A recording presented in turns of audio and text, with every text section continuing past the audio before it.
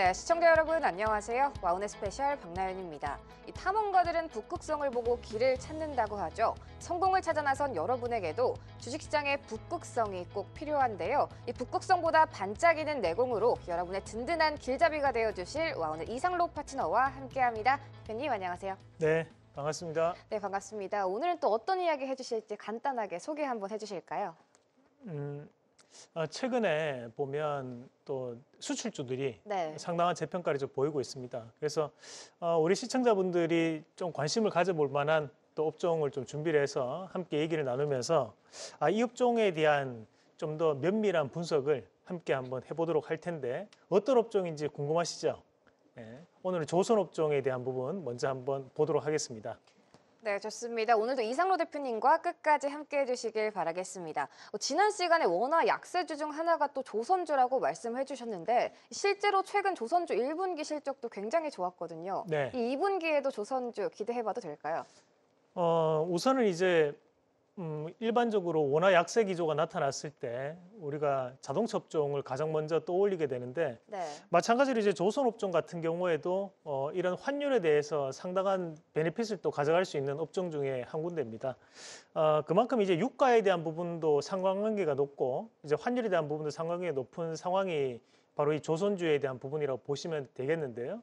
어, 그만큼 현재 조선주 같은 경우에는 어, 다시 한 번 더 재평가를 좀 보일 수 있는 단계라 보고 1분기에 긍정적인 실적에 대한 부분을 확인을 하셨을 겁니다. 그것이 이제 2분기에도 다시 한 번 더 실적에 대한 추이가 이어질 수 있는 환경이라 보고 특히 매출보다는 영업이익, 바로 이제 마진이라고 할 수 있는 부분이 좀 더 증가할 수 있는 부분이다 보니까 그에 따른 재평가를 좀 더 기대를 해볼 수 있는 업종이 바로 조선주가 아닌가라는 말씀을 드리겠습니다. 네, 2분기에도 실적 추이가 이어질 것이다. 재평가를 기대해보자라고 말씀을 해주셨습니다. 또 글로벌 조선 점유율이 최근 중국에 뒤처지고 있다는 말이 나오는데 이게 사실이라면 이 주가 상승의 원인은 환율에 있을까요? 어, 사실 이제 어, 예전까지만 하더라도 어, 우리가 이제 조선 업종에 대한 부분에서 어, 글로벌 최강은 대한민국이다. 뭐 그런 얘기를 많이 했지만 네. 어, 최근 들어서 이제 조선 업종 안에서도 이 중국에 대한 점유율이 상당히 높게 나타나는 것이 팩트입니다. 준비된 자료를 같이 보면서 어, 추가적인 설명을 좀 드리도록 하겠습니다. 자, 준비된 자료를 한번 같이 보시면 어, 우선 이제 올해 올해 수주량에 대한 부분을 나타내는 표인데 전 세계에서 수주되는 양과 그리고 거기에 한국과 중국에 수주되는 양을 보면 중국이 현재 5월달 같은 경우 약 85%까지도 어, 점유율을 차지를 했었고 한국 같은 경우 약 10%에 대한 점유율을 차지를 했었습니다. 자, 이걸 다르게 한번 보면 결국 전 세계적으로 봤을 때는 100이라고 본다면 한국과 중국이 나눠 가지는 그런 과점의 형태를 띠고 있는데 특히 중국에 대한 점유율이 상당히 높게 나타나고 있다라고 좀 봐야 될 것 같아요. 그래서 현재 점유율로만 따져본다면 중국에 대한 점유율이 대단히 높게 나타나는 부분이지만 다만 여기서 봐야 되는 것은 어, 우리가 이제 배라고 해서 같은 모두 다 똑같은 선박이라고 보기는 힘듭니다. 거기에 보면 좀 더 고부가치군에 대한 배들이 있을 거고 또는 이제 어, 우리가 캐시카우 자체가 조금 약한 배들도 있을 거기 때문에 그에 따른 부분 자체에서 마진 효과가 좀 더 나타날 수 있는 배들을 한국에서 생산하고 있다라고 보시면 되겠습니다. 네, 좋습니다. 그렇다면 앞으로 이 조선 분야의 업황은 또 어떻게 보고 계신지 궁금하거든요. 또 주가 등락이 변수가 될 만한 요소도 있을까요? 어, 네, 이제 먼저 봐야 되는 것들이 우리가 이 앞서 선박에 대한 부분에서 종류별로 말씀을 드렸던 부분이었는데 다시 한 번 더 그림을 통해서 한번 같이 체크를 한번 해보도록 하겠습니다. 네. 어, 그러면 이제 일반적으로 우리가 현재 컨테이너선 그리고 벌크선, 그 유조선이 제 옆에 그림으로 나와 있을 겁니다. 그러니까 이런 배들은 기술력이 조금 낮더라도 충분히 만들 수 있는 여건이라고 보시면 됩니다.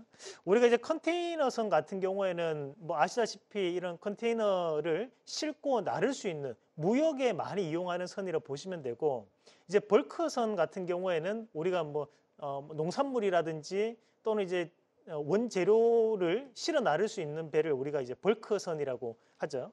마찬가지 유조선 같은 경우에는 이런 석유를 또 운반을 할 수 있는 선이라고 보시면 되는데 어, 이런 배들은 보면 마진 추이 자체가 높게 나타나지는 않습니다. 말 그대로 가격 경쟁력이 붙다 보니까 중국에 대한 점유율이 높게 나타날 수밖에 없는 부분이라고 보실 수 있겠고 다만 이제 여기서 우리가 확인을 해봐야 되는 것은 어, 최근 들어서 이제 한국에 대한 점유율이 높게 나타나는 배들이 LNG 운반선이라든지 또는 이제 암모니아 운반선이 있습니다. 우리가 이 암모니아 운반선 같은 경우에 또 크게 두 가지로 나눌 수 있는데 한 가지가 암모니아를 운반하는 운반선이라고 보시면 되고요. 또 한 가지는 암모니아를 연료로 쓰는 운반선이 또 따로 있거든요. 어, 현재 여기서 얘기하는 것은 이제 암모니아를 운반할 수 있는 운반선 관련된 기업들이 현재는 좀 더 재평가를 보이고 있다라고 볼 수 있겠죠. 그래서 이런 선박에 대한 부분 자체에서에 대한 차이가 날 수밖에 없는 부분이라고 좀 판단을 해볼 수 있고 우리가 한 가지 더 본다면 이제 조선 평균 성과에 대한 부분인데 앞서 이제 점유율은 중국이 현재는 7대 3 또는 이제 8대 2 비율로 높은 점유율을 차지하고 있지만 실질적으로 조선 평균 성과를 따져본다면 한국에 대한 성과가 좀 더 높게 우위를 차지할 때가 많습니다. 왜 그러냐면 우리가 이제 CGT라고 해서 어, 선박에 대해서 기술적인 부분과 무게를 따져서 좀 더 부가를 높게 시키는 배들은 어, 우리가 앞서 봤던 이제 암모니아 운반선이라든지 LNG 운반선 이렇게 만들기 힘든 배들을 좀 더 높게 상관계수를 매겨주고 어, 대신에 어, 일반적인 컨테이너선 같은 경우에는 이제 상관계수가 낮게 잡히게 되거든요. 어, 그렇다 보니까 중국의 점유율 자체는 높게 나타나지만 성과는 낮게 잡히고 오히려 한국 배들은 성과가 높게 잡히는 경향이 많아요. 그래서 실질적으로 지금 현재는 중국의 열채를 어, 납품을 하고 뭐 국내가 선박이 어, 막 두 채를 납품을 한다고 하더라도 결국에는 우리나라 선박들에 대한 성과 지수 훨씬 더 높게 나타나는 경향이 있다라고 볼 수 있겠죠. 그래서 이제 종목을 공략을 하실 때도 여기에 따른 관련된 기업들을 좀 더 눈여겨보시는 전략이 필요하지 않을까라고 정리를 해드리겠습니다. 네, 좋습니다. 이렇게 조선주 관련해서 이야기 나눠보고 왔는데요. 아무래도 많은 시청자분들이 또 궁금해하실 게 그렇다면 조선주 중에서 좀 어떤 기업 눈여겨봐야 하면 좋을지 궁금해하실 것 같아요. 대표님께서 눈여겨보시는 기업들 어디가 있을까요?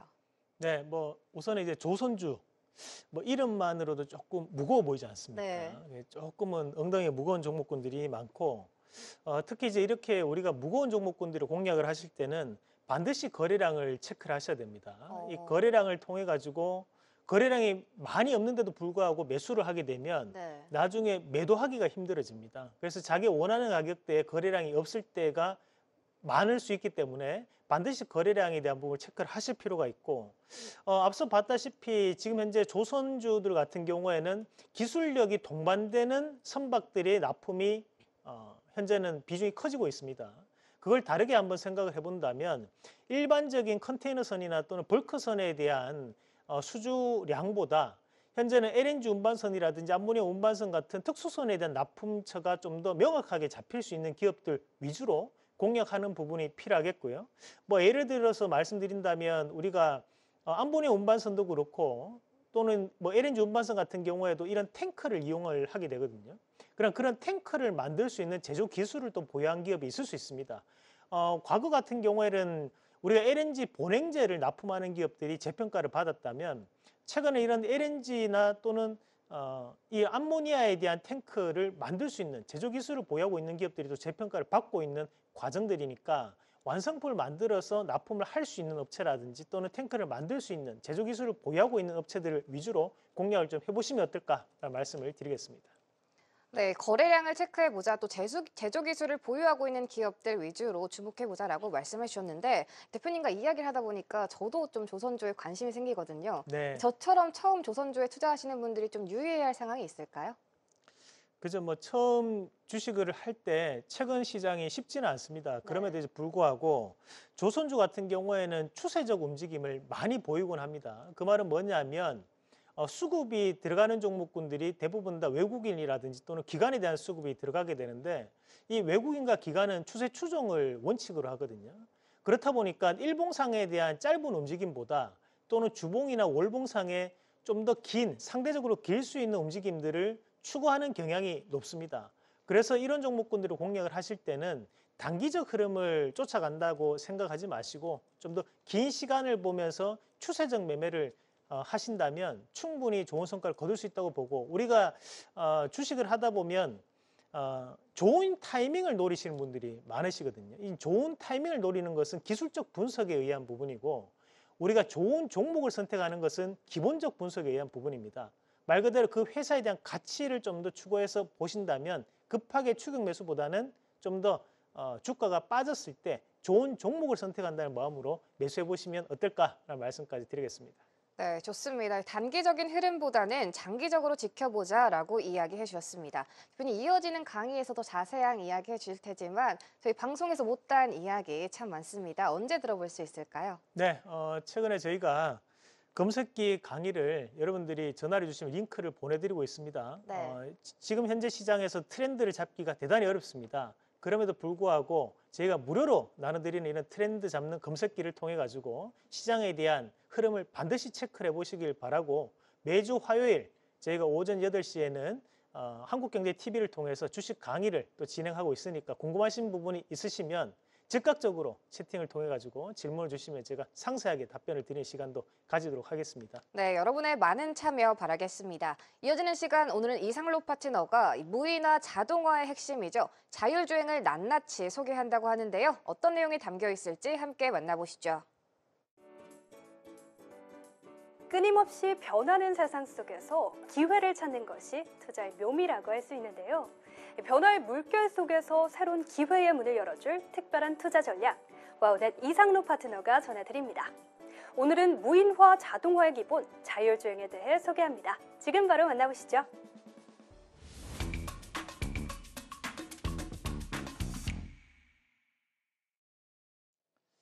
네, 안녕하십니까. 모든 주식을 빨갛게 빨간 주식 이상로입니다.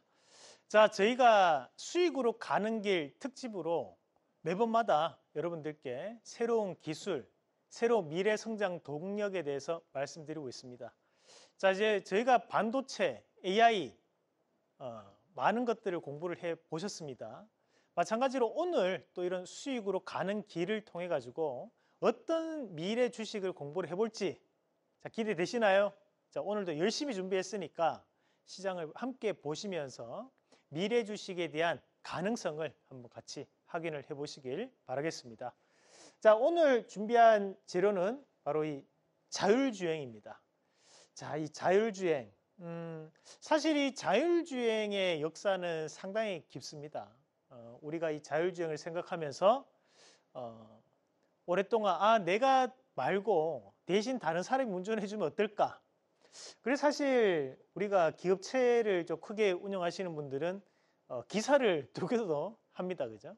그 정도로 어떻게 보면 이런 자율주행이라는 것이 어, 꾸준한 연구가 이루어졌던 분야기도 한데 최근에는 이 분야가 다시 한 번 더 부각되고 있는 것이 현실입니다. 부각되는 이유가 예전에는 이런 자동차에 대해서 이 자율주행이 어, 한계를 좀 가지고 있던 분야였다면 최근에는 이제 로봇으로 이런 자율주행이 함께 들어가면서 활용도가 극대화되고 있는 상황이라는 거죠.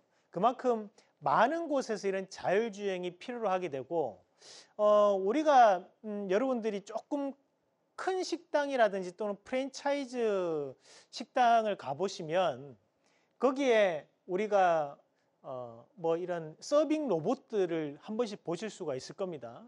그런 것들도 결국 자율주행에 대한 기술이 포함되어 있다고 보시면 되는데 우리가 이런 자율주행에 대해서 오늘 이 강의만 보신다면 완벽하게 정리될 수 있도록 제가 준비를 했습니다. 자, 그럼 준비된 것들을 한 번씩 같이 보면 자, 자율주행이 현재 서울에서는 이루어지고 있습니다.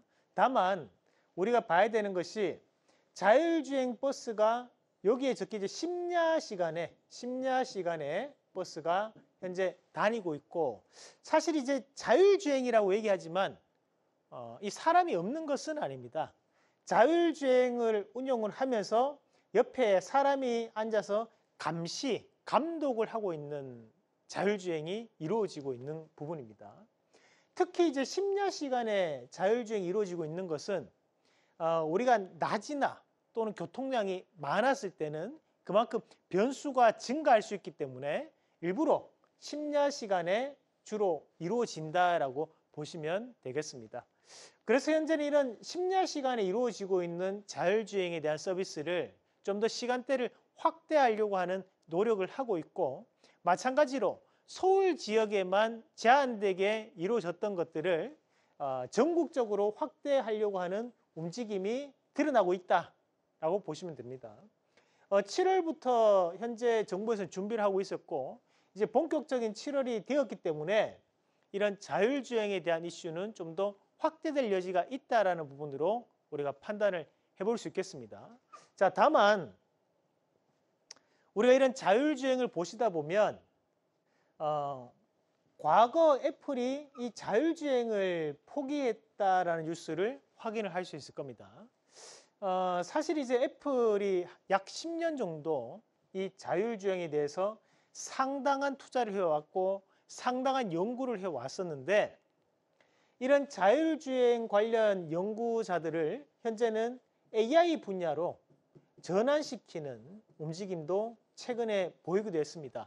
자, 이것이 바로 2024년도에 애플이 공식적으로 자율주행을 포기한다라는 얘기를 했던 부분이었고, 그 다음에 왜 애플이 우리는 여기서 봐야 되는 것은 자율주행을 접었느냐라는 거죠.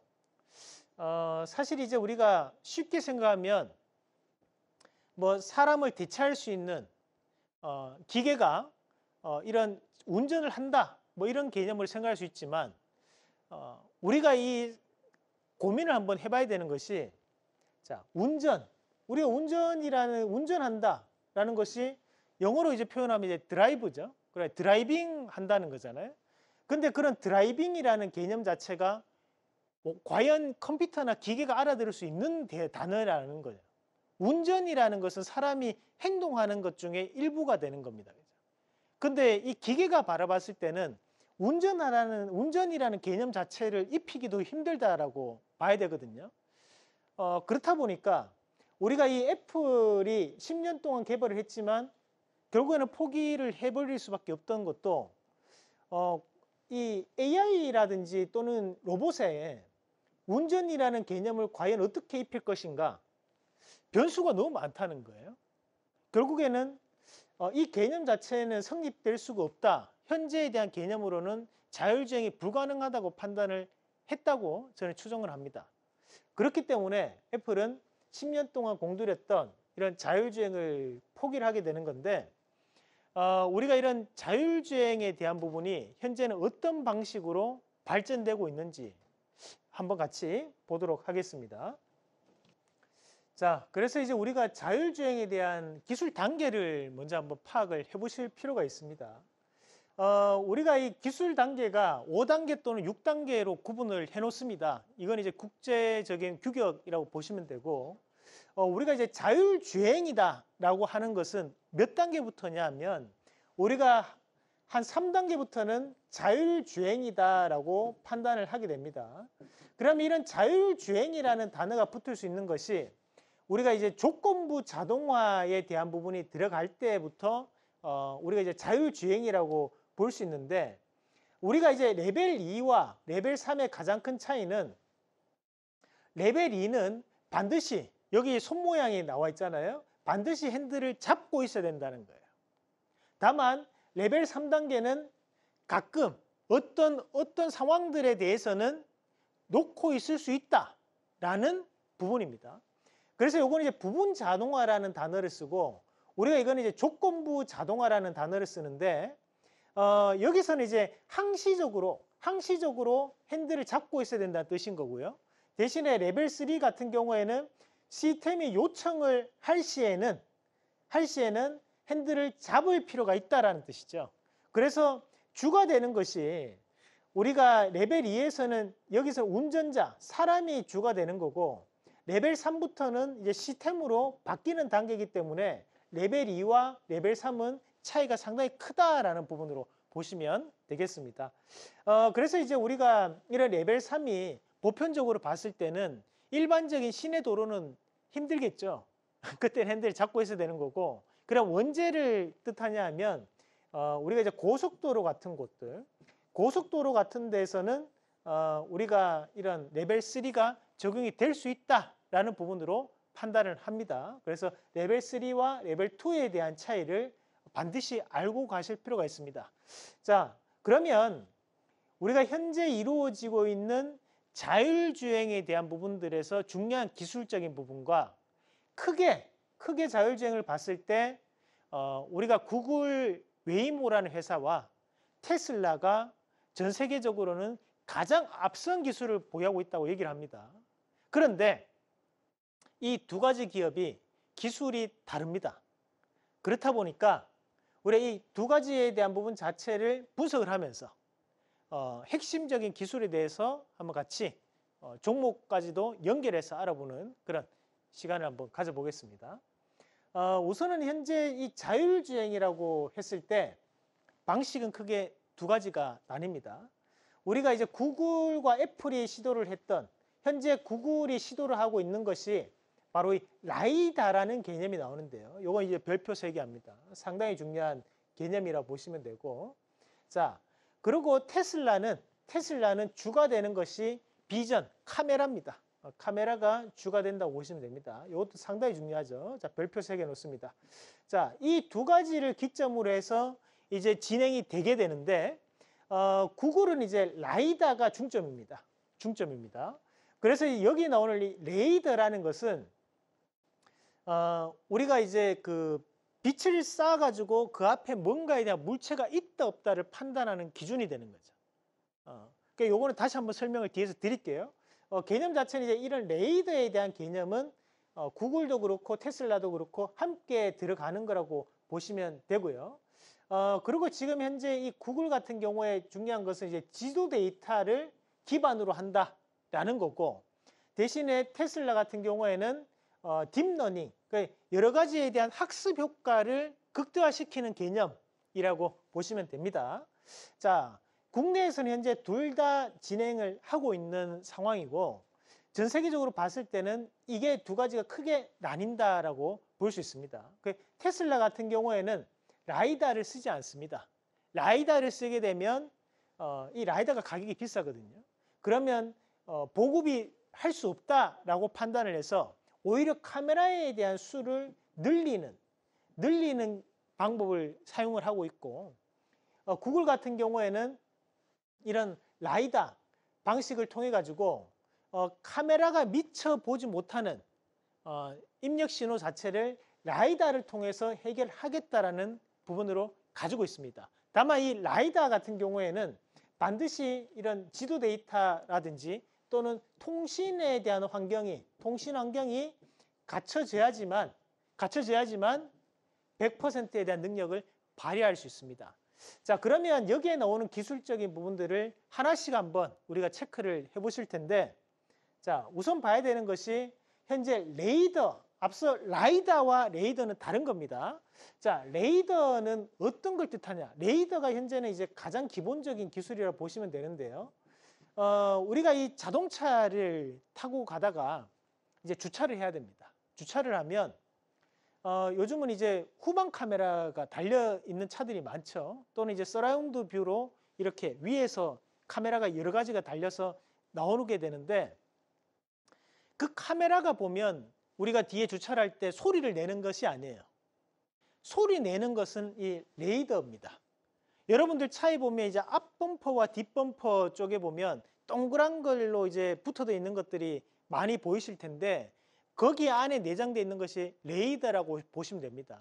레이더는 어, 여기에 대한 이제 팔을 전자파를 보내 가지고 이게 이제 돌아오는 파동을 통해 가지고 거리가 가깝다 멀다를 알 수 있게끔 만들어 주는 것을 바로 이 레이더라고 하는데 자 레이더는 상대적으로 가격이 저렴합니다. 그래서 우리가 보편화가 되어 있는 상황이고요. 그래서 우리가 그 후방 주차를 하다 보면 벽에 가까이 갈수록 뚝뚝뚝뚝뚝뚝 거리는 속도가 빨라지는 것이 바로 이 레이더를 통해서 소리가 나는 과정이라 보시면 되고 다만 레이더의 단점은 뭐냐? 어, 여기에 사람이 서 있든지 또는 작은 물체가 있든지 구분 자체가 안 됩니다. 이게 무슨 말이냐면 앞에 뭔가가 있다는 것은 알 수 있지만 이걸 통해 가지고 이것이 사람이다, 동물이다, 공이다, 물건이다 이런 구분은 안 된다는 거예요. 여기에 뭔가는 있다라는 부분만 판단할 수 있는 것이 레이더라고 보시면 됩니다. 그래서 우리가 대부분의 자동차에 포함되는 것이 이 레이더고 우리가 뭐 로봇 청소기라든지 또는 뭐 서빙 로봇이라든지 대부분이 이제 기본적으로 탑재되어 있는 것이 이런 레이더라고 볼 수 있겠습니다. 자, 그러면 이런 개념적인 부분들이 존재하는데 그럼 본격적으로 이제 구글에 포함되어 있는 구글에 포함되어 있는 기술적인 부분들을 보면 어, 여기 보시면 이제 모자를 얘가 쓰고 있어요. 모자를 쓰고 있는데 요게 이제 라이다입니다. 라이다. 어, 이 모자를 통해 가지고 요 모자는 이제 360도로 이렇게 이제 팔을 이제 보내는 거예요. 이렇게 팔을 계속 보내는데 어, 이런 이제 신호를 보내 가지고 이런 신호를 보내서 신호가 갔다가 돌아오는 것을 보고 얘는 거기에 따른 그림을 그려내는 겁니다. 만약에 이제 사람이 앞에 서 있다. 사람이 앞에 서 있다. 그러면 이제 사람의 얼굴에도 이제 코가 조금 더 튀어나와 있고 입이 조금 나와 있고 눈은 좀 들어가 있고 이만 좀더 나와 있지 않습니까? 그럼 여기에 대해서 얘는 많은 빛들을 쏘는 거예요. 많은 빛들을 쏴가지고 이 빛이 나에게 닿았다가 닿았다가 돌아오는 것을 통해 가지고 얘는 그 빛을 통해서 그림을 그리는 거죠. 어? 그렇다 보니까 앞서 얘기했던 것처럼 라이다를 제대로 이용하기 위해서는 통신이 반드시 구현이 돼야 돼요. 어? 그러면 이제 우리가 이 통신이 구현이 돼줘야 되기 때문에 5G라든지 또는 6G가 반드시 필요한 것이 어떻게 보면 라이다 개념입니다. 어, 왜냐하면 그만큼 빠르게 음각 속도를 받아야지만 받아야지만 어, 우리가 이제 앞에 뭔가의 물체가 있다 없다 이 물체가 어, 작은 거다 큰 거를 판단할 수 있다는 거죠. 그래서 그에 따른 가장 기본적인 기술이 되는 것이 핵심적인 기술이 구글에는 바로 이 라이다라고 보시면 되고 앞서 이제 레이더는 말씀드렸다시피 물체를 감지하거나 또는 이 물체가 움직인다 안 움직인다를 판단할 수 있는 것을 레이더라고 한다라는 거 기억을 하고 보시면 되고요. 자, 그래서 이제 우리가 이 라이다라는 것은 자 여기에 이제 나오지만 뭐 여기에서 넣을 수 있고 여기 요즘은 여기 위에 이렇게 해서 360도로 이렇게 이제 빛을 때린다 그죠? 이런 식으로 이렇게 이제 빛을 때려 가지고 주변에 어떤 물건들이 있는지를 확인하는 건데 어, 우리가 이제 이 여기에 대한 부분을 이렇게 갔다가 돌아오는 것을 통해 가지고 아 여기 앞에는 이런 나무가 있네요 또는 여기 앞에 순록이 한 마리 있습니다 이런 것들이 어, 된다는 거죠. 그래서 레이저 광 펄스가 물체에 갔다가 반사되어 돌아오는 정보를 가지고 3D로 해석을 해내는 거예요. 이해가 되시죠? 그래서 이제 라이다라는 것이 눈에 해당하는 부분입니다. 눈으로. 우리가 이제 카메라라는 것은 어, 카메라의 이런 형체가 비치지만 그것을 이제 전기 신호로 바꿔줘야 돼요. 왜냐하면 카메라에 비치는 것을 가지고 우리가 그것을 어, 컴퓨터는 인식할 수 없거든요. 그럼 이걸 이렇게 형태를 비친다는 것을 어, 센싱 어, 해줘야 되는 개념이라면 우리가 이 라이다 같은 경우에는 컴퓨터의 눈에 해당하는 부분이라고 보시면 되겠고요. 어, 그러면 이제 우리가 이 라이다가 가장 많이 현재 이용되고 있는 분야가 뭐냐?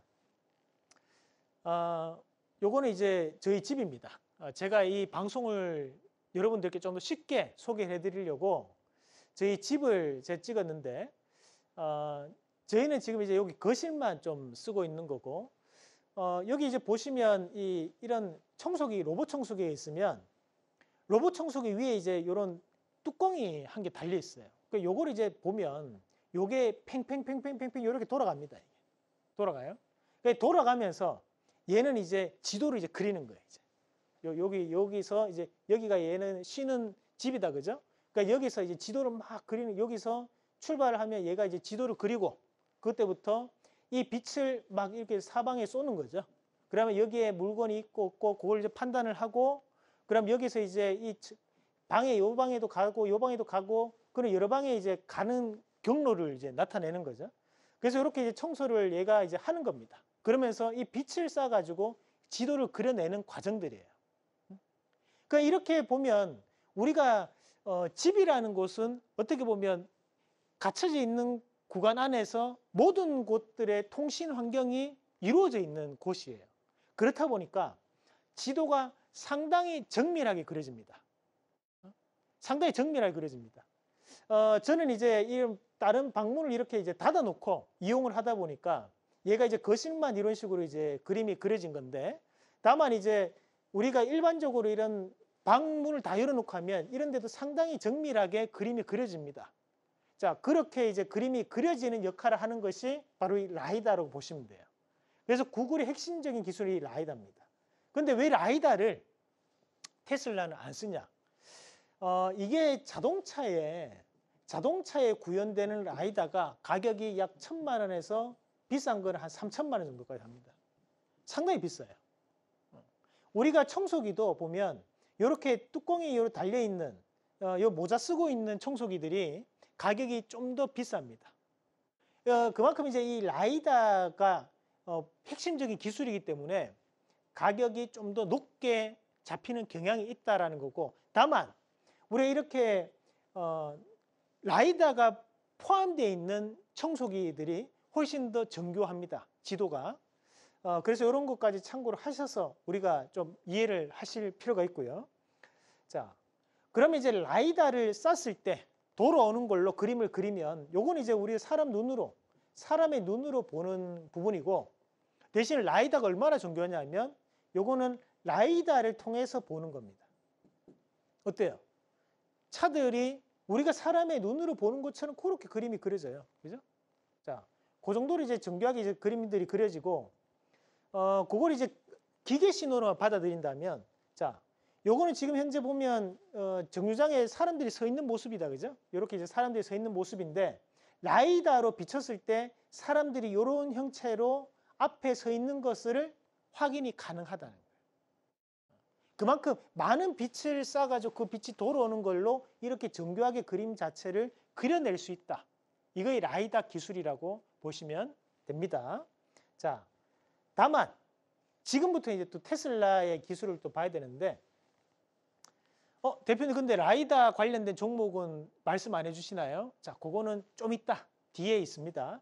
자, 우선 이제 테슬라에 대한 기술도 한번 같이 봐야 됩니다. 자, 테슬라에 대한 기술은 우리가 카메라를 동원하는 거예요. 어? 어, 카메라가 이제 눈이라고 보는 거죠. 그럼 이 눈을 많이 다는 겁니다. 자, 우리가 한번 생각해 보자고요.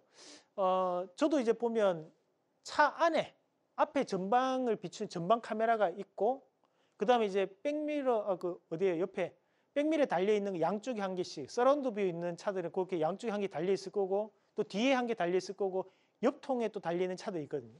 그러니까 그런 것들을 다 합치면 한 한 다섯 개, 여섯 개 되겠다, 그죠? 근데 이제 이런 테슬라 같은 경우에는 제가 알기로는 한 10개 이상을 카메라를 어, 달아 놓습니다. 그 정도로 좀 더 이런 카메라를 통해서 카메라를 통해서 어, 계속적으로 컴퓨터가 어, 이 앞에 뭔가 있다 없다를 판단을 빠르게 빠르게 하는 거죠. 그러면서 이제 데이터를 축적시켜서 그것으로 딥러닝화해서 운전을 해 나가는 개념이 바로 이 테슬라의 어, 우리가 이제 카메라 비전 기술이라고 보시면 되는데 어, 그러면 이제 요거는 이제 도식화 했는 겁니다. 그러니까 이건 이제 테슬라 비전이 설치되어 있는 어, 차고, 그럼 이 차가 이 차가 이제 움직이는 거예요. 자, 이렇게 이렇게 움직이면 움직이는 방향을 통해 가지고 카메라들이 막 설치되어 있으면 이걸로 주변을 다 비추는 겁니다. 자, 이렇게 주변을 다 비추는 거예요. 그러면 이렇게 주변을 비추면서 주변에 뭔가 있다 없다를 빠르게 빠르게 판단을 해 나가는 거죠. 자, 이것은 이 컴퓨터에 대한 능력, 능력을 보는 거기 때문에 우리가 통신이 빠르게 연결되지 않아도 가능은 합니다. 그렇다 보니까 어, 이 테슬라는 이런 빅데이터를 쌓는 것을 목표로 합니다. 그럼 얼마 전에 있었던 이제 중국에 대한 자율주행이 허가되었다라는 것은 상당히 큰 이슈죠. 왜냐하면 그만큼의 축적된 데이터들을 더욱더 많이 축적할 수 있고 활용할 수 있는 거니까 좀 더 이런 컴퓨터를 고지능화 시킬 수 있다라고 판단할 수 있다는 거예요. 자, 그러면 그 상황을 통해서 우리가 이제 앞에 이런 것들이 있다면 앞에 컴퓨터는 인지를 하는 거예요. 앞에 이런 나무가 있다라는 걸 인지하는 거죠. 근데 이것도 처음에 나무를 보고는 이게 나무다라고 판단하지 못합니다. 그런데 나무를 수십만 장을 보여주는 겁니다. 그러면 이건 나무다, 이건 나무다, 이건 나무다 계속적으로 인지를 시키면서 이제 이것만 봐도 아 이건 나무다가 되는 거죠. 자, 이건 나무다가 되는 겁니다. 어, 그래서 이제 이렇게 인지를 시키는 것을 우리가 카메라에 대한 어, deep learning을 통해서 테슬라가 현재 자율주행을 추구하는 방식이라고 보시면 됩니다. 다만 여기에 보시면 아시겠지만 자율주행에 들어간 카메라 모듈만 보더라도 상당히 많은 카메라가 현재 들어가는 것을 확인할 수 있어요. 그만큼 어, 카메라에 대한 능력치를 극대화시키는 것이 중요한 게 바로 이 테슬라에 대한 어, 부분이라고 보시면 되고 그래서 카메라마다 또 이런 뭐랄까 이제 기능들이 조금씩 다르죠. 뭐 우리가 거리 인식을 담당하는 카메라가 있고 시각을 담당하는 카메라가 있고 복합적으로 하는 카메라도 있고 그렇게 이제 카메라를 120% 활용하는 방안이 바로 이 테슬라 방식이라고 보시면 되는데 어, 우리가 이제 테슬라가 한 번씩 자율주행 관련된 사고가 날 때가 있습니다. 사고가 날 때가 있습니다. 우선은 알고 계셔야 되는 것이 여러분들 구글이 사고 났다는 얘기 들어보셨나요? 구글 웨이모가 사고 났다? 뉴스가 잘 없을 거예요. 왜냐하면 현재 구글의 웨이모 사들 사 같은 경우에는 어, 제한되어 있는 구역, 그러니까 시범 구역 안에서만 시범 구역 안에서만 어, 우리가 자율주행이 가능합니다. 그렇다 보니까 이 시범 구역이라고 하는 곳은 통신이 원활하게 이루어지고 있고 제한되어 있는 구간 안에서 자율주행이 이루어지는 상황이라는 거죠. 그렇다 보니까 어, 우리가 라이다를 통해서 사고가 나기가 힘든 구간이라는 거고 어, 테슬라 같은 경우에는 일반 도로에서도 자율주행이 현재 진행이 되고 있습니다. 그렇다 보니까 사고가 가끔 뉴스화가 되기도 합니다. 우리가 카메라 기술이 더 낫기 때문에 사고가 난다. 그게 아니라는 거예요. 시범 구역 안에서 이루어지고 있는 것이 라이다 기술이고 어, 시범 구역 외에서 우리 일반적인 도로에서도 자율주행이 이루어지고 있는 것이 테슬라이기 때문에 테슬라는 가끔 사고가 나기도 하는데 자 어, 예를 들면 최근에 있었던 이 사고 유형이 뭐냐 하면 어, 이 테슬라가 차를 이렇게 가다가 앞에 하얀색 하얀색 트럭이 넘어져 있었던 거예요. 그런데 우리가 사람 같으면 당연히 브레이크를 밟고 돌아서 가겠죠. 그런데 이 테슬라 자동차는 그냥 갖다 보고 박아버리는 거죠. 왜? 하얀색 트럭이 컴퓨터는 인지를 못하는 겁니다.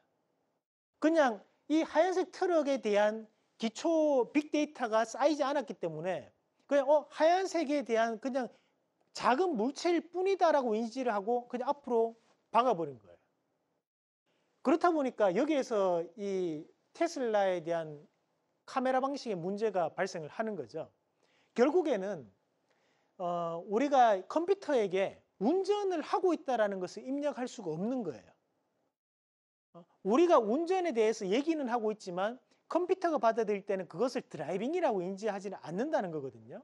그렇다 보니까 어, 우리가 과연 컴퓨터를 계속 고사양화 시키고 고지능화 시키고 딥러닝을 한다고 해서 사고가 안 날 것인가?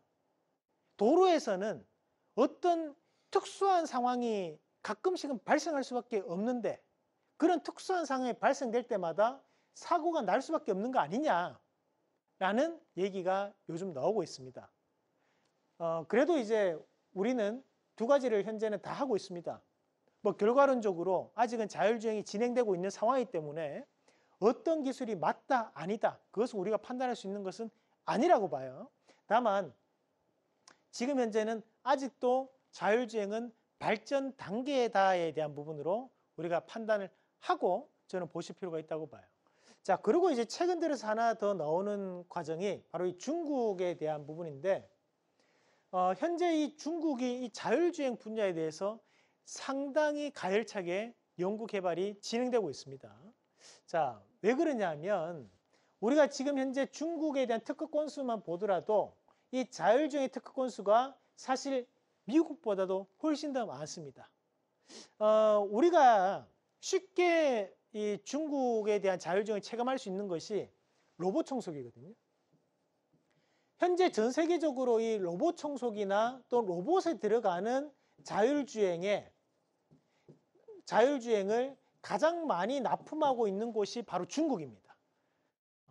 대부분의 로봇 청소기는 중국산이 현재는 기술력이 가장 좋아요. 어, 그렇다 보니까 이런 어, 중국 같은 경우에도 이런 특허권을 통해 가지고 이런 로봇 청소기나 또는 이제 생활 서비스형 로봇 또 로봇에 대한 부분에 어, 이런 자율주행을 상당히 적용을 많이 시키고 있고 그것이 현재는 매출에 대한 과시화로 나타나고 있는 상황이라고 보시면 되겠고요. 자, 어, 앞서 봤던 것이 이제 구글의 웨이모 방식과 구- 아, 구글의 우리가 이제 라이다 방식과 테슬라의 어, 카메라 비전 방식이었는데 어, 최근에 이제 한 방식이 더 생겼습니다. 어, 그건 뭐냐면 이제 스마트 도로 방식입니다. 스마트 도로 방식은 뭐냐면 어, 우리가 이제 중국이 최근에 폐쇄형 자율주행 테스트장을 운영을 하고 있습니다. 어, 이거는 우리가 자율주행에 대한 기능적 부분을 가지고 있는 차를 이 도로를 통해서 운행을 하게 만드는데 이 도로가 통신이 연결되는 도로입니다. 음. 자, 그게 뭐냐면 우리가 차만 계속 업그레이드를 시키면서 고사양화, 고지능화를 시키는 게 아니라 도로에서도 어, 신호 데이터를 통해서 교통 시스템을 통해 가지고 차에 계속적으로 신호를 주는 거죠. 앞에 사고가 났다, 앞에 차가 막힌다, 앞에 차가 많다, 네 앞에 뭔가 있다. 계속 신호를 갖다 주는 겁니다. 그러면서 이제 신호 자체가 계속 주고받고를 하면서 자율주행을 이끌어내는 개념이에요. 그게 일반적인 도로가 아니라 어, 통신이 통하는 도로를 만드는 게 현재 중국의 또 한 가지 다른 방식이라고 보시면 되겠습니다. 그래서 보면 이 테스트장 안에서도 우리가 이런 터널도 엄청나게 길게 만듭니다. 왜 이 터널을 만드냐면 터널 안에 들어갔을 때 통신 연결이 안 됐을 때 과연 자율주행이 될 것인가 안 될 것인가 이런 부분까지도 중국은 감안을 해서 현재 자율주행을 테스트하고 있다는 거예요. 자, 이런 개념들도 최근에는 등장하고 있다라는 겁니다. 그래서 지금 현재는 아직까지는 자율주행이 진행되고 있는 상황이니까 뭐가 맞다고는 얘기할 수 없어요. 하지만 어, 우리가 결국에는 자율주행은 갈 수 있다. 하지만 그 갈 때까지에 대한 시간은 걸릴 수 있고 아직은 뭔가가 정답이라고 명쾌한 답은 나오지 않았다 정도로 알고 계시면 될 것 같고 자 여기서 우리가 또 봐야 되는 것이 어, 우리가 이런 자율주행을 통해 가지고 이루어지면서 어, 국내에서도 여러 가지 발전 방향에 대한 연구를 진행하고 있습니다. 여러분들도 여기서 보시면 아시겠지만 여기에 스마트 도로에 대한 개념은 뭐겠어요? 어, 우리가 이제 사물 인터넷, IoT에 대한 개념이 여기에 들어갈 수밖에 없겠다, 그죠? 자, 그러면 이제 국내에서 라이다에 대한 부분이나 또는 카메라에 대한 부분을 연구 개발하는 기업들도 존재를 할 수밖에 없는데, 자, 그런 기업들을 같이 한번 보시면 우선은 이제 대한민국 같은 경우에는 이 두 가지를 모두 다 국책 과제로도 연구를 하고 있고 진행을 하고 있습니다. 자, 그러면 우선 라이다, 라이다 관련된 회사들을 보면 요거는 이제 기업 공시를 통해서 기업 공시를 통해서 라이다 관련된 연구를 하고 있는 기업을 제가 다 뽑아왔는 거고 그리고 밑에는 라이다 관련된 키워드를 가지고 있는 기업들을 제가 또 다 뽑아온 겁니다. 자, 그래서 이 기업이 좋다 안 좋다가 아니가 아니고 이 라이다에 대한 연구 개발 또는 키워드를 가지고 있는 기업들을 다 모아놨다고 보시면 돼요. 자, 그럼 여기 안에 있는 기업들을 보면 어, 우리가 여러분들 꾸준하게 잘 알고 계시는 기업이 있을 수도 있고요. 또는 생소한 기업이 있을 수도 있습니다. 그러면 이제 그런 라이다 관련된 부분 자체에서 어, 우리가 지금 연구하고 있는 기업들이 존재를 하는 거고 그 라이다 관련된 키워드를 가지고 있는 기업들도 존재를 한다라고 보시면 되겠습니다.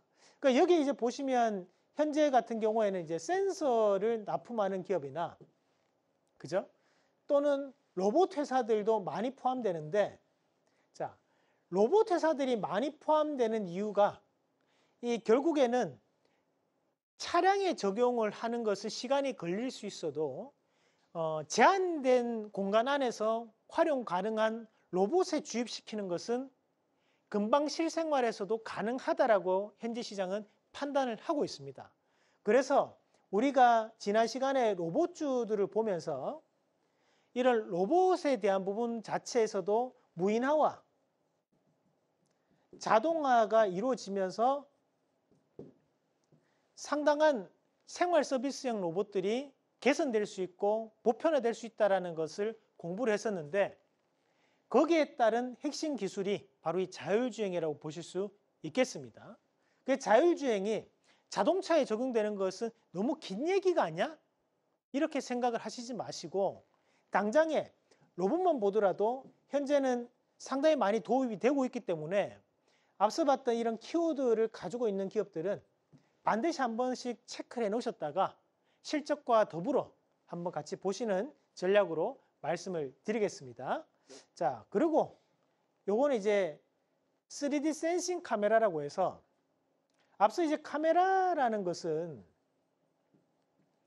어, 우리가 이제 카메라에 비춰지는 것을 어, 정기적인 입력 신호로 받아들일 수는 없어요. 왜냐하면 카메라는 말 그대로 이제 비추는 것 뿐이잖아요. 그죠? 그런데 그 비추는 것들을 정기적 신호로 바꿔서 어, 센서가 있는 것처럼 형체를 다듬을 수 있는 능력을 가진 카메라를 우리가 센싱 카메라라고 합니다. 음. 그러니까 한마디로 이 3D 센싱 카메라로 비춰져 있는 것들이 우리가 앞에 만약 이런 장난감들이 있다. 어? 그러면 이것은 사람이 볼 땐 장난감이 있는 거지만 이 카메라가 볼 때는 이것을 장난감이 있다 없다를 판단할 수 없죠. 그죠? 대신 컴퓨터가 발전이 되면 그게 가능하겠지만 자 그러면 이제 그것을 어, 컴퓨터가 알아들을 수 있는 신호로 바꿔주는 역할을 하는 카메라예요. 그럼 앞에 이런 물건들이 있으면 그것을 이제 어, 3D 센싱을 통해 가지고 앞에 이런 물건에 대한 형체들이 있습니다라고 컴퓨터한테 알려주는 거죠. 자, 요 뒤에 요 딱꿍이 아까 전에 얘기했던 우리가 이렇게 돌면서 라이다죠. 이건 라이다. 이건 이제 카메라고요. 자, 그래서 일반적인 센서들은 이런 식으로 어, 여기 앞에 그냥 물건이 있습니다 정도. 요게 아까 봤던 이제 레이더에 대한 개념이라면 이 앞에 그냥 물건들이 있어요 라고 알려주는 거지라면 센싱 카메라는 여기는 형체를 이렇게 잡아줄 수 있는 역할을 하는 거라고 보시면 되겠습니다. 자, 그래서 그 3D 센싱 카메라에 대한 기술을 보유하고 있는 기업들이 또 존재하는데 그 기업들이 어, 나무가 여기 이제 삼성에 들어갔던 로봇 청소기인데 여기 이제 납품을 했던 기업이 이제 나무가입니다. 자, 그리고 이제 LG 이노텍, 뭐 LG 디스플레이, 하이비전 시스템, 요거 이제 검사 장비죠. 검사. 그러니까 요 정도는 조금 알아두실 필요가 있다. 그래서 우리가 지금은 라이다가 좋다. 또는 센싱 카메라 좋다. 그건 모르는 겁니다. 앞으로의 미래 발전 방향이기 때문에 다만 우리가 이런 카메라에 대한 기술력을 보유하고 있는 기업들도 반드시 체크할 필요는 있다 정도는 알고 하시면 좋을 것 같습니다. 자, 어, 그리고 이제 우리가 현재 많이 이루어지고 있는 것들이 어, 바로 이런 생활 서비스형 로봇들인데 우리가 이런 서비스 로봇들 앞에 딱 섰다. 그러니까 얘들이 쭉 가다가 멈춥니다. 가까이 오다가 어, 앞에 뭔가에 대한 물체가 있다는 것을 인식을 하는 거죠. 그죠? 그만큼 이제 레이더는 상당히 보편화가 되고 있는 상황이고 요게 이제 눈으로 보이지만 요 요걸 자세히 보시면 여기에 얘네들도 카메라가 달려 있을 거예요. 네? 그요 밑에 보면 요런 데 이제 센서류가 이제 담겨져 있고 요런 데 네? 마찬가지로 이제 요런 로봇들도 센서류가 항상 붙어 있습니다. 자세히 보시면 다 달려 있습니다. 필수적으로 센서류와 카메라는 달려 있는 형태가 많습니다. 자, 그 여기에 보시면 뚜껑이 이렇게 있는데 이게 바로 또 라이다겠죠. 자, 어때요? 알고 보니까 보인다, 그죠? 자, 요런 로봇들이 현재는 프랜차이즈 식당이라든지 많은 음식점에서 어, 활용이 되고 있는 상황들이기 때문에 시장에서는 앞으로도 이런 자율주행 이슈는 확대될 가능성이 높다. 특히 어, 우리가 금리 인하 시기가 되면 금리 인하 시기가 되면 어, 우리가 이제 이자율이 내려가는 거거든요. 이자율이 이자율이 내려가게 되면 투자가 증가합니다. 자, 금리가 인상된다면 이자율이 올라가는 거니까 투자가 줄죠. 그죠? 부동산도 마찬가지죠. 우리가 금리가 인하된다는 것은 이자가 낮아진다는 거예요. 이자가 낮아지면 투자가 늘어나기 때문에 이런 신성장 동력을 가지고 있는 기업들에 대한 투자도 늘어나게 됩니다. 그러면 우리가 이런 자율주행에 대한 미래 주식들도 상당한 재평가를 받을 수 있는 단계이기 때문에 반드시 기억을 하고 보시면 좋겠다라는 말씀도 함께 드리겠고 자 그러면 이제 향후 결론적으로 그러면 우리가 이걸 어떻게 봐야 될 것이냐라는 건데 어, 우선 이제 자율주행 관련된 기술적 이슈는 앞으로도 지속될 것이다라는 거예요. 자 특히 현재 테슬라가 자 중국이라는 키워드를 가지고 자율주행을 움직이고 있습니다. 결국에는 이 두 가지 키워드가 둘 다 빅 키워드이기 때문에 어, 쉽게 이슈가 사라지지 않는다. 이런 자율주행 관련돼서 기술적 이슈는 지속될 가능성이 높고 국내에 또 국책 과제로 진행하고 있는 기업들이 있다 보니까 그런 이슈들과 유기적으로 어, 이슈가 좀 더 확대될 가능성이 높다라는 부분으로 보고요. 자, 앞서 봤던 것처럼 이제 스마트카, 우리가 자동차를 좀 더 고사양, 고기능적으로 만들면서 레이, 라이다나 카메라에 대한 또는 이제 딥러닝을 발전시키는 기술로 계속 갈 것이냐 아니면 도로를 발전시키는 방향으로 갈 것이냐에 대한 차이가 있을 수 있기 때문에 그걸 같이 보시면 좋을 것 같고 자 그리고 이제 우리가 이런 자율주행의 가장 기초적인 것이 바로 이 ADAS라고 해서 첨단 운전자 보조 시스템입니다. 어? 그러면 이제 이런 기본적인 기술은 상당히 보편화될 가능성이 높아요. 그러면 이런 것들이 이제 실적과 연관될 수 있는 실적과 연계될 수 있는 부분의 이슈가 나올 수 있습니다. 그 요 단어도 반드시 체크를 해 놓으시면 좋을 것 같고요. 그래서 우리가 어, 일상생활에서 이용할 수 있는 로봇의 활용이 확대될 수 있으니까 로봇 플러스 자율주행. 자, 요 키워드가 시장에서 당분간 이슈가 될 수 있다라는 것까지 기억을 하시면서 보시면 좋겠습니다. 자, 오늘 이렇게 자율주행 관련해서 한번 같이 알아보셨는데요. 자, 미래 주식에 대한 이야기 재밌으셨나요? 다음에도 좋은 내용을 준비해서 여러분들과 함께 즐겁게 공부를 해보도록 하겠습니다. 수고 많으셨습니다. 이상로 파트너와의 다섯 번째 시간. 오늘은 무인화 자동화의 기본 자율주행 섹터에 대해 알아봤습니다. 미래를 이끌어 나갈 주도주를 통해 눈부신 투자 성과를 이뤄보세요. 성공 투자하는 그날까지 와우넷과 이상로 파트너가 여러분의 곁에서 언제나 함께하겠습니다.